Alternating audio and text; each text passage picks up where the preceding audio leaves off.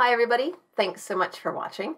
As always, I would love, love, love it if you left me a comment letting me know what you think about this video, or even just telling me how your day is going. Since I'm writing and filming this just before the school year starts, I have also included my Amazon wish list down in the description. I teach at a school in rural Georgia, so these aren't things that are so essential that I'm going to get them myself, but they're things I think would be nice bonuses. Uh, multicolored pens and markers, skin tone crayons, colored pencils, and cooperative games.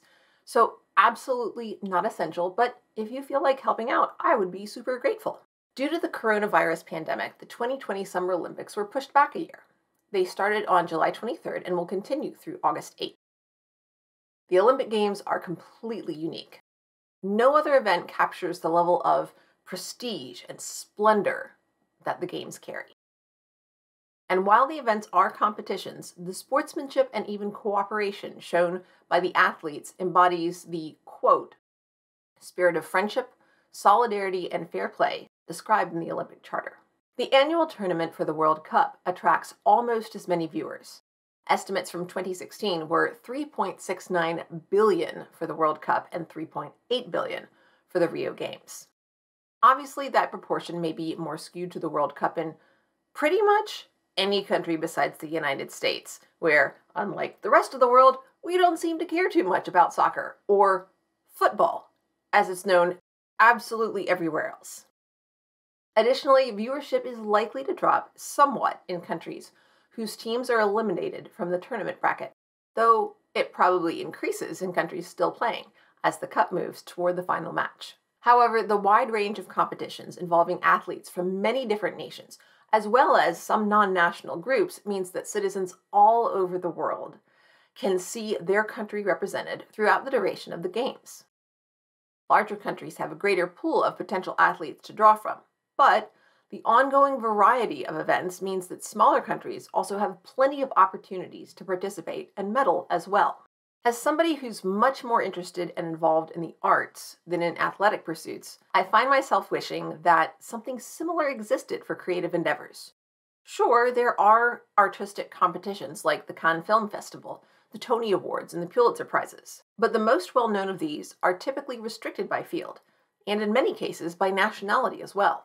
Additionally, awards like these are typically for completed works. They lack the suspense and immediacy of the Olympics.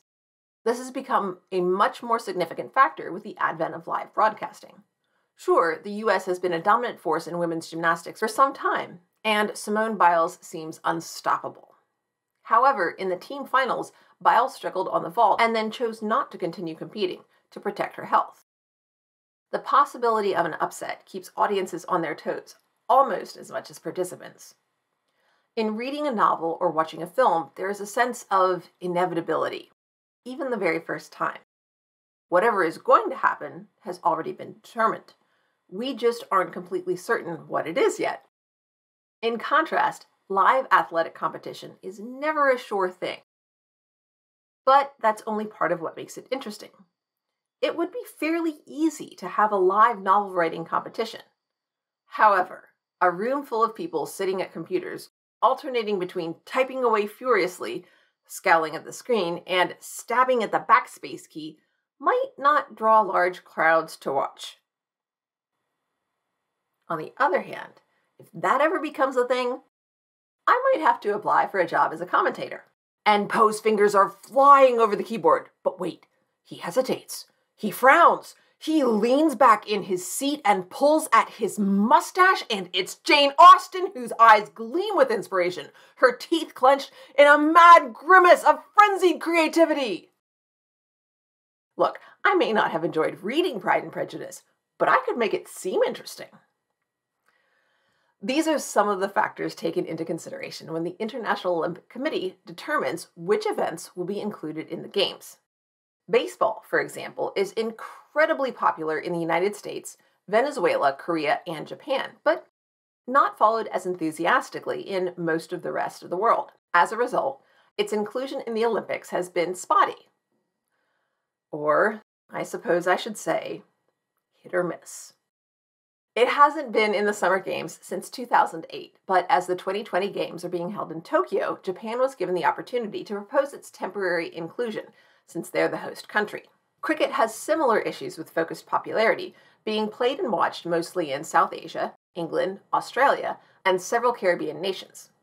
However, in addition, there is the practical consideration of time. Traditional cricket matches often last for several days, although there are only about six and a half hours of play on any given day. Plus, of course, breaks for lunch and tea. One must, of course, be civilized. So, not every sport is included in the Olympics. And for those that are, there is the additional challenge of adjudication. There are several running events, and the distances are somewhat traditional, but arguably arbitrary. The shortest is the 100 meter, which is reasonable given the base 10 numeric system that we use, and then the 200, 400, 800. But it's the 1500 instead of the 1600. Why? I have no idea. Tradition, I suppose. We do it this way because we've always done it this way. And then there's the hurdles 100 meters and 400 meters, except those are the distances for female competitors. For men, it's 110 meters and 400 meters. Why? Again, no idea, just because reasons, I suppose. And that's the track and field events, athletics for my British viewers, which are very similar between the men's and women's competitions. Ice skating is even more similar in the events individuals for both men and women, and then pairs for figure skating and for ice dancing. However, unlike the track and field events, which are measured, figure skating is a scored event. Over the past several decades, judges have awarded higher marks to routines featuring more powerful jumps in contrast to those featuring deeper bends or more innovative spins. Naturally, competitive skaters focus on the elements that will give them the most points. A weak execution of a more challenging jump may result in a higher score than a flawless execution of a less challenging jump. Liz Clark called it a, quote, cold calculation more than artistic statement. How many additional points a skater earns for attempting the difficult skill, weighed against how many fractions of a point he loses for failing to fully rotate it, botching the landing, or falling in an ungainly heap. However, the push toward athleticism over artistry highlights the challenge in judging scored events. It's far easier to determine whether or not a skater fell than to justify and quantify artistic merit. The movie The Cutting Edge illustrates this when Doug and Kate argue over the type of music to use in their program. Kate pushing for something classical while Doug wants something more modern. When they compete, despite a strong technical performance, they receive low scores for artistic merit. And the movie frames this as a result of the judge's bias toward tradition. In The Cutting Edge, this is positioned as an element of class.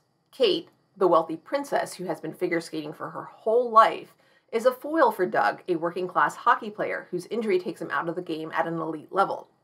However, race and gender also influence expectations as well. While recently the push has been toward athleticism for all skaters, historically, female skaters have seen greater rewards for more feminine artistry. In the 1994 World Championships, when Surya Bonaly's more difficult jumps were slated in favor of Yuka Sato's dynamic footwork, Bonaly refused to stand on the podium. Gymnastics is even more divided. Men and women have only two events in common vault and floor routine. The vault has the same setup, but the women's floor routine is 20 seconds longer and must include music because they have to incorporate dance skills like jumps and pirouettes. Men just do tumbling passes. In addition, men compete on the pommel horse, the still rings, the parallel bars, and the high bar. Women have two additional events the uneven bars and the balance beam. As in figure skating, scoring methods have changed to focus on difficulty and execution rather than on artistic interpretation. Those of us who are old enough remember the perfect 10 in gymnastics. Under the new system, each element has a difficulty score, and theoretically, there is no upper limit on the total score. Gymnasts are, however, limited by time as well as the size of the apparatus. There are only so many somersaults you can do before you reach the end of the balance beam. As a result, there has been a similar increase in athleticism over the years, as competitors have attempted more and more difficult leaps, twists, and turns in the various events. Gymnasts submit their routines before competing, and the routines are reviewed by two different judges. Each judge independently determines the difficulty value, then the judges compare their results and come to consensus. Then, during the routine, six judges watch for execution. In both figure skating and gymnastics, one of the main reasons for introducing the new scoring systems has been to improve objectivity in judging. And in a sense, it has been successful. Athletes have a good idea of what their potential score will be before they compete, based on the elements they have included in their routines. You do the routine, you get the elements, you get the points. Simple, right? Actually, not so much. What's happening is that the governing committees are simply repositioning the subjective elements of judging. For example, the Produnova on vault, which is a handspring double front somersault, is typically considered the most difficult vault ever landed by a female gymnast in competition. It previously had a difficulty score of 7.1, which was then lowered to 7.0, and currently stands at 6.4. The technical committee of the FIG, Fédération Internationale de Gymnastique, which assigns these values, reduced its difficulty score to discourage athletes from relying on that score to compensate for poor execution. This was influenced not only by its difficulty, but by its danger. If a gymnast does not rotate fully, a spinal injury is very possible. Assigning quantitative value to the difficulty of a skill takes what is actually a subjective decision and cloaks it with the illusion of objectivity. This is illustrated by the fact that it's even possible to artificially deflate a difficulty rating in order to discourage the use of that move in competition. But the truth is that even the most seemingly objective events in the Olympics are shaped by subjective decisions. The high jump seems really straightforward how high a bar can the athlete clear? Yet the choice to measure the height of the jump in that way was a subjective decision, as are rules about what constitutes a foul and how much approach space is allowed. This has clear parallels and important lessons for education. First of all, the practice of assigning numbers and making choices about amounts and goals and decisions, which I'll call quantification from this point on, is not value neutral. It is a value judgment. It assigns priority. This leads to deprioritization and even exclusion of skills that are not easily measurable. We see this in the changes in figure skating and gymnastics with the de emphasis of artistic interpretation and the earlier decision to not include the previous required element of compulsory figures, which is what literally created the sport. Likewise, we see similar effects in education grade levels in courses that have state required exams receive greater scrutiny. Elements within these courses that are difficult to test, like verbal communication, are given less time and attention. Even the practice of age based leveling means that students do not progress based on demonstration of skill, except in the most extreme cases. Second, quantification promotes cost benefit analysis. I do my best to encourage students to find value in learning However, the practice of quantitative evaluation encourages people in education, as well as parents, community members, and society as a whole, to focus on the grade rather than on what was learned. The result is that many students choose to put minimal effort into practice work if it's not going to be graded, or don't bother to do it at all. Some students simply want to pass and calculate how many assignments they can blow off and still scrape by. Now, fortunately, unlike a poorly prepared attempt at a Produnova, students are not likely to risk injury by focusing on grades rather than on their own understanding. But it's not in their best interests either. Additionally, while giving the appearance of clarity and precision, quantification actually adds confusion.